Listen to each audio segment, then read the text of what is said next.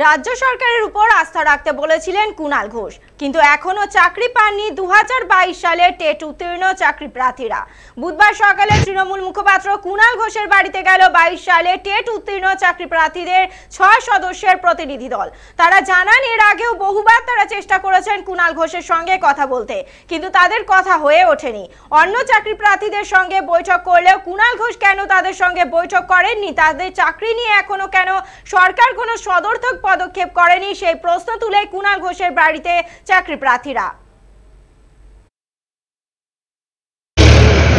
কোচবিহার থেকে কাকদ্বীপ, যেভাবে দু হাজার বাইশের প্রাথমিক উত্তীর্ণতা পথে নেমেছে, পুলিশ দিশেহারা হয়ে গেছে।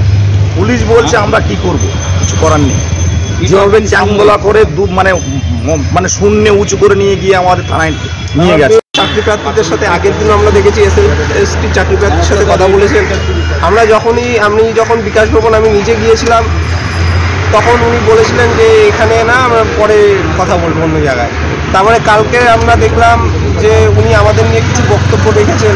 তো সেই ক্ষেত্রে আমাদের সাথে অন্তত পাঁচটা মিনিট দেখা করুক, আমরা চাই এটা।